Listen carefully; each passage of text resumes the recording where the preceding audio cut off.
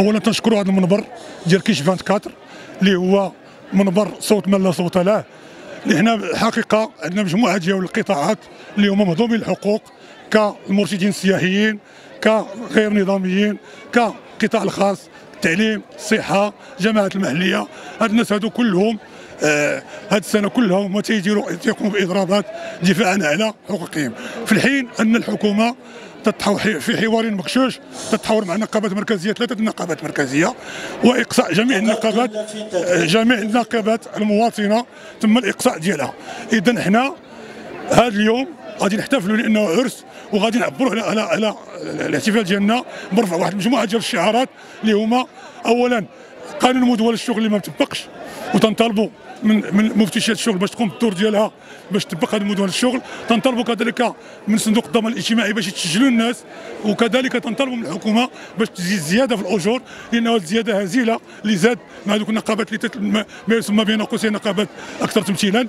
اذا وكذلك تنطلبوا باش الإخوان ديالنا ديال المرشدين اللي تقصاو المرشدين غير نظاميين اللي تم الاقصاء ديالهم. عنوة باش يستافدوا من البلاكة ديالهم لأنه هادو هما المرشدين الحقيقيين وهادو هما المرشدين اللي هما تيتسموا كونتر بونتيز فوقيت. هادو هما اللي تيمارسوا 40 سنة 30 سنة. بدر هذه مزيانة ولكن هذه البداية. تنتمنى باش يكمل كل العبر الاجتماعي وتكون الزياده باقي شوية. الزياده زعما مش حسانه مزيان. هذا الإطار هذا مزيان ولكن تنتمنى يكون عاوتاني شي باجي اسر باش تكون الزياده عاوتاني. المسائل مزيانة هذا العام هذا. بالنسبة للحكومة استجبت ولكن بالنسبة للحوار الاجتماعي خصو يكمل. وباقي باقي شوية لقدام إن شاء الله. نتمنى خير إن شاء الله في هذه المسألة. هذه باش تكون المسائل كلها مضبوطة وتكون الطبقه الشغيله إنه كتعرف أكثر القطاع الخاص. القطاع الخاص بالضايد بالنسبة لهم. بزاف الحوايج بحال بالنسبة للتعليم بالنسبة لقطاع السياحة أنت تشوف المرشدين السياحيين الغير نظاميين باش يتم العقالات ديالتهم القطاع مازال ما كمل ديال السياحة.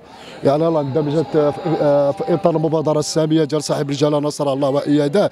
نتمنوا إن شاء الله تعالى باش تكمل المبادرة ويكملوا الهيكلات القطاع السياحي المرشدين السياحيين الغير نظاميين.